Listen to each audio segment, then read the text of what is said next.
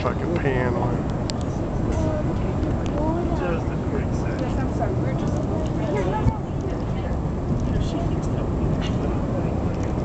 Yeah, there's Mandalay. That's the start of this trip. cars. Unless you Jeez. Well, The start of this trip used to be the Caesar Palace.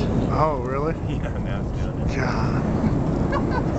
Green. And what'd you say this new construction is? This is going to be the city center. I say. Oh, okay. Yeah, there's going to be like their own little condos in there, uh, shopping, search the Elvis Cirque show.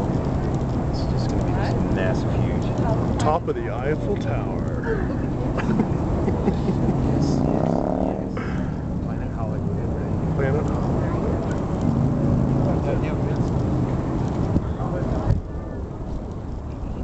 Boy, the lights are